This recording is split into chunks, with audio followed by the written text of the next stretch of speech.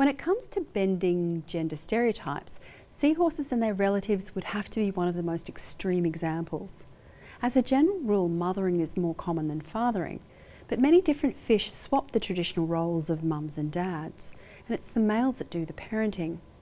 And seahorses take this a step further. They're the only animals where the males get pregnant. Now, prior to mating, a male and female pair perform a highly stylised dance. It starts by nodding to one another, and then they swim back and forth following one another stopping to intertwine their tails. Then swimming commences again. They join together side by side and rise up through the water.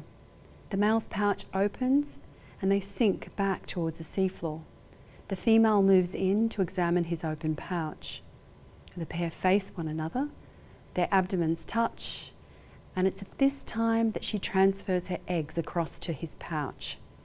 And as her eggs pass into the pouch, he releases sperm to fertilise them. He'll incubate their embryos for the next month until they're ready for birth. Now, seahorse pregnancy is incredibly complex, and remarkably, there's lots of parallels with ours. Seahorse dads provide within their pouch nutrients for their embryo's development, like energy rich fats and calcium to allow the embryos to build tiny skeletons. The dads remove the embryo's waste, like carbon dioxide and nitrogen, and they produce antibacterial and antifungal molecules to protect their developing embryos from infections. Just like in us, hormones like estrogen are involved in producing the cascade of signals through pregnancy and that lead to birth. With about a week to go before birth, the seahorse dads produce hormones, hatching signals, to prepare their embryos. These signals cause the embryos to hatch out of the thin-walled membrane that they've been developing within. And once free of this membrane, they swim and move freely inside the dad's pouch. The embryos now take up more room and the dad's pouch stretches. At birth, the dad's pouch undergoes muscular contractions as his young, called fry, emerge from his pouch. So male seahorses perform many of the same functions that occur in pregnancy and birth in females of other animals. But this is surprising because during pregnancy for female mammals, reptiles and other fish, the embryos are inside the female's reproductive tract. But seahorse dads don't have a female reproductive tract. So for them, pregnancy has evolved entirely independently of how we think of pregnancy in all other animals. Yet many of the same processes and even many of the same genes control both male and female pregnancy. So it's a remarkable display of convergent evolution. So seahorse dads make excellent mums. So why be such a good dad? Well, for fish, like the seahorse, the bigger and fatter the female, the more eggs she can produce.